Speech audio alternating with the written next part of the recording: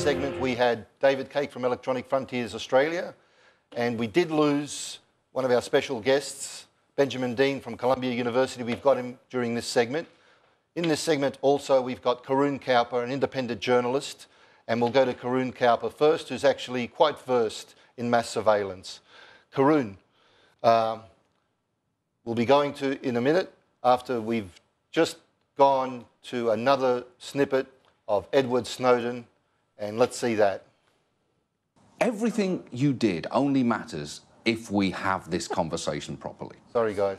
So let me help you out there. You mentioned in an interview that the NSA was passing around naked photos of people. Yeah, this is something where it's uh, it's not actually seen as a big deal in the culture of NSA uh, because you see naked pictures all of the time. That terrifies people because when we ask people about that, this is the response you get. The government should not be able to look at dick pictures. If the government was looking at a picture of Gordon's penis, I definitely feel it would be an invasion of my privacy. Uh, yeah, if the government was looking at pictures of my penis, that would upset me. They should never, ever, the U.S. government have a picture of my dick. If my husband sent me a picture of his penis and the government could access it, I, I would want that program to be shut down. I would want the dick pic program changed. I would also want the dick pic program changed. I think it would be terrific if the program could change. I would want it to be tweaked. I would want it to have have clear and transparent laws that, that we knew about um, and that were communicated to us uh, to understand what they were being used for or why they were being kept. If I had knowledge that the U.S. government had a picture of my dick, I would be very pissed off. Well, the good news is there's no program named the dick pic program. The bad news is they are still collecting everybody's information, including your dick pic. This is the most visible line in the sand for people. Can they see my dick? That is a picture of my dick. So let's go through each NSA program and explain to me its capabilities in regards to that photograph of my penis. So, 702 surveillance, can they see my dick? Yes. The uh, FISA Amendments Act of 2008, uh, which Section 702 falls under, uh, allows the bulk collection of internet communications that are one end foreign. So if you have your email somewhere like Gmail, hosted on a server overseas or transferred overseas, or at any time crosses outside the borders of the United States, your junk ends up in the database. Even if you send it to somebody within the United States, your wholly domestic communication between you and your wife can go from New York to London and back and get caught up in the database. Executive Order 12333, uh, dick or no dick? Uh, yes. EO 12333 is what the NSA uses when the other authorities aren't aggressive enough or they're not catching as much as they'd like. When you send your junk mm -hmm. uh, mm-hmm. through Gmail, for example, yeah. that's stored on Google's servers. Google moves data from data center to data center invisibly to you without your knowledge. Your data could be moved outside the borders of the United States oh, no. temporarily when your junk was passed by Gmail. The NSA caught a copy of that. Prism. Prism is how they pull your junk out of Google with Google's involvement. All of the different Prism partners, people like Yahoo, Facebook, Google, the government deputizes them to be uh, sort of their little surveillance sheriff. Edward, if the American people understood this, they would be absolutely horrified. I guess I never thought about putting it in the, the context of your junk. Welcome back to Opinionated.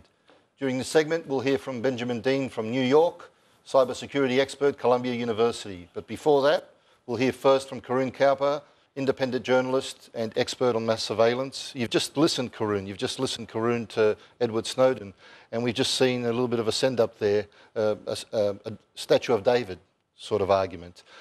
That's galvanized people's attention. Maybe the product of that is it's a product of mass propaganda.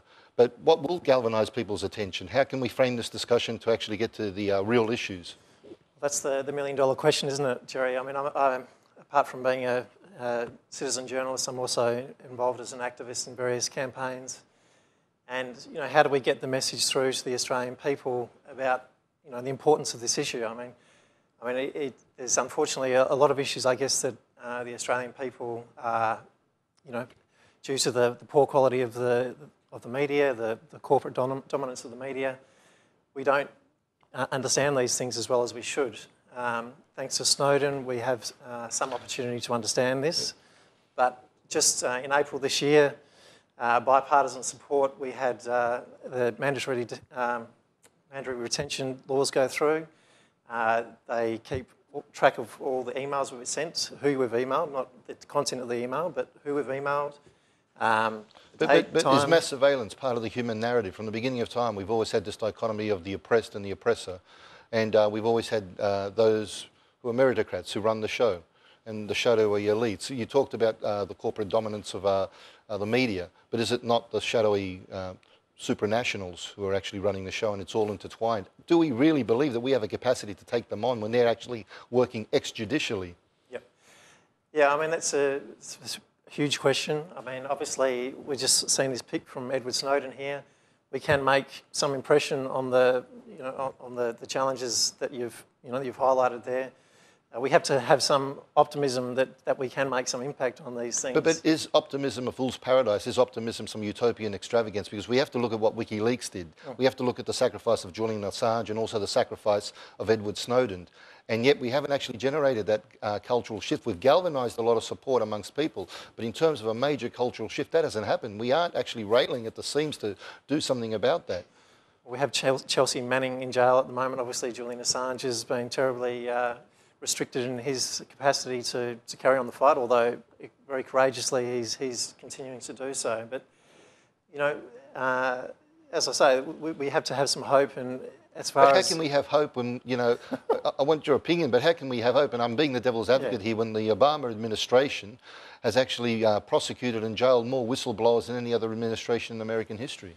Well, it's, it's not perhaps all that hopeful. Uh, this is what I'm grasping at at the moment, Jerry, is we have, since the Snowden revelations, uh, an increase of about seven, by 700 million people apparently that have taken more notice of this, and, and uh, that's, that's figures that uh, you know, people uh, and businesses that have increased their encryption rate. This is overall data that's, uh, that's increased. Okay.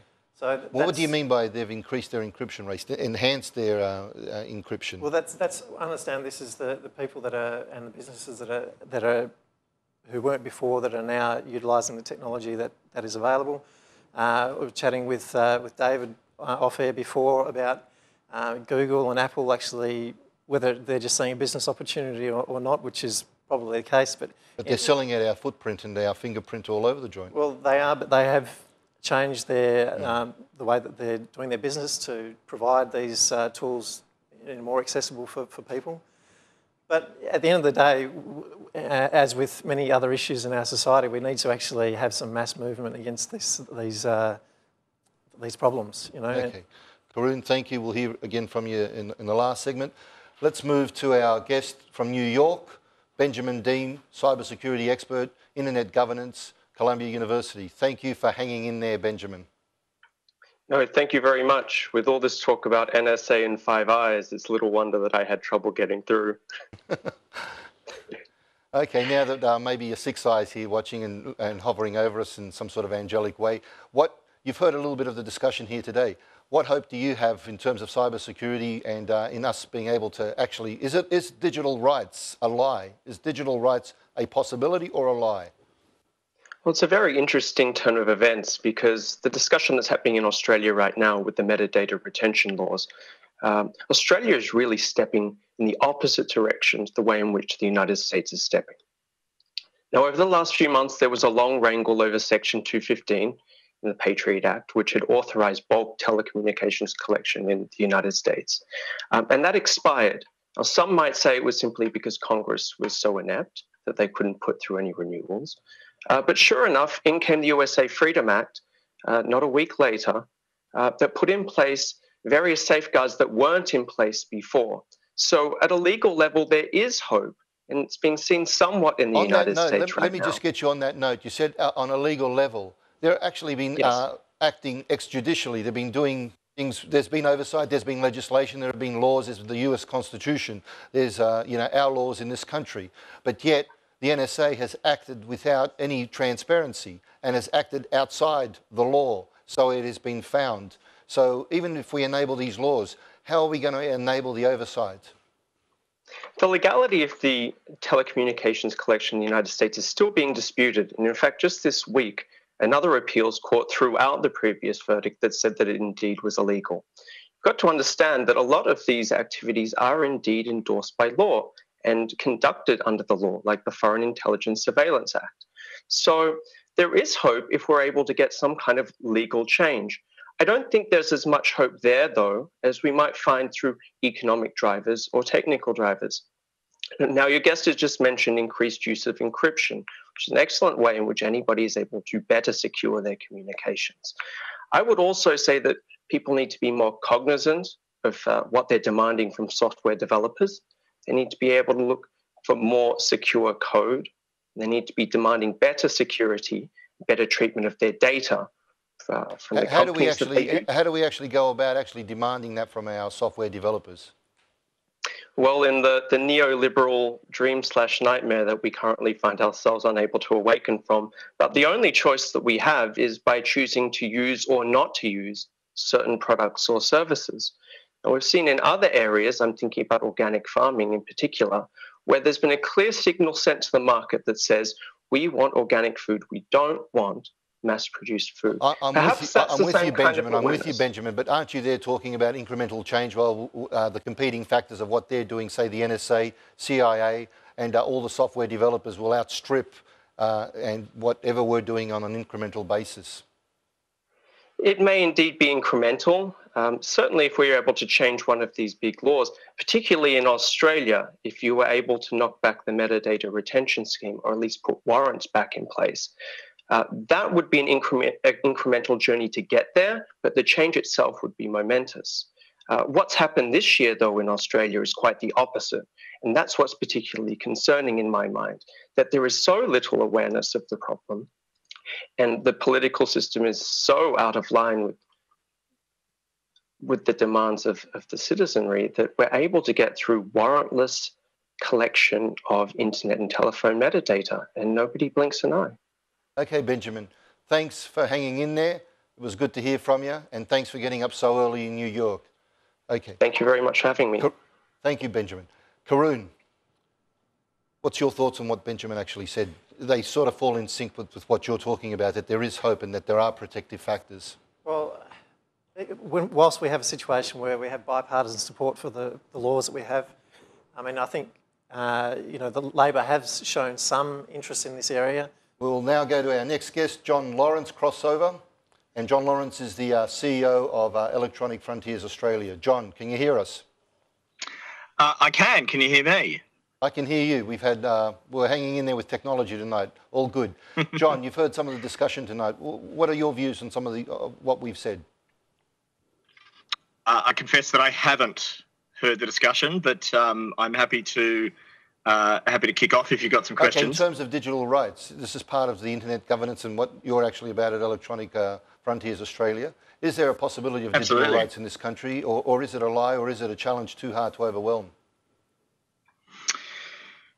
Uh, okay, well, that's a pretty broad question. Um, look, digital rights are a reality. Um, Australia is probably, well, not probably, Australia is less well protected in many of these contexts than uh, pretty much every other Western country around. Um, we're about the only country in the OECD, for example, that doesn't have um, any sort of constitutional protection for privacy or freedom of speech. Um, we do have an implied protection for political speech that the High Court has ruled on, but that's that's pretty much about as far as it goes. So, digital rights, you know, as a as somebody trying to campaign for digital rights in this country, it is actually a much harder gig than it is in many other places, um, because without those constitutional protections, that essentially means that we can't you know, go and sue the government when they're doing the wrong thing because there's no reason to do so. And that's a really really difficult challenge for us. Well, and John, you've actually nailed. that many of our John, John, you've actually um, highlighted something there, and you're talking about constitutional change. Effectively, how do we go? Act- if we have to rely on constitutional change, are we serious then about actually enabling digital rights in this country that would be effective? Well, I think as we all know, constitutional change is one of the most difficult things to achieve in this country, and that's you know that's not that's partly by design, and that's not necessarily a bad thing in its own right. Um, but really, what that comes down to in, in, in practical reality, and we've seen this quite recently in, in legislation passed in this parliament, is the ability for legislators to kind of go well beyond where they might go elsewhere. And data retention is probably the, the, the best and most pertinent current example. Um, the laws that our Attorney General's department is currently struggling very hard to implement and not doing a terribly good job uh, on data retention were based on UK laws, which of course were based on the European Union Data Retention Directive, all of which has now been ruled unconstitutional. Okay. Um, Quickly, the, last, last question. I'd the like to capacity for you- that to happen in Australia just isn't there. That's the problem. I'd like to ask you uh, a question. Um, tell me something about the Five Eyes, the alliance, when we've actually got that to deal with or whatever. We're talking about, you know, a, a powerful shadowy elite that's almost working extrajudicially. Even if we actually enable uh, digital rights laws, what's going to stop them from working in the ways that they've already done extrajudicially and without oversight and without effectively disregarding law? Well, indeed. Uh, and look, it's very clear that they are working extrajudicially. Um, there is a very clear, there's quite a bit of evidence to um, support this idea of uh, what we might call sort of surveillance laundering, where um, each country has a degree of protection for its own citizens, but not for others. So, you know, maybe ASIO is not monitoring us, but we know the NSA is. Um, the New Zealand GCSB, I think it's called, uh, may not be necessarily, you know, doing mass surveillance of New Zealand citizens, although there is some evidence that suggests they are.